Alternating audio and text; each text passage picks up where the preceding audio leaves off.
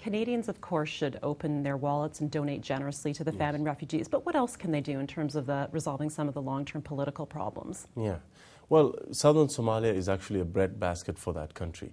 If they were to get the governance right, not only can Somalia feed itself, it can actually export food to the rest of Africa and the world.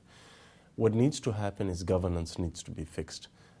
There's light at the end of the tunnel. There are people, technocrats, uh, people with clean human rights records and no records of, of corruption who've left Western countries, who are ethnic Somalis who've gone back to give uh, something of their skills back to that country to help rebuild it at great personal sacrifice.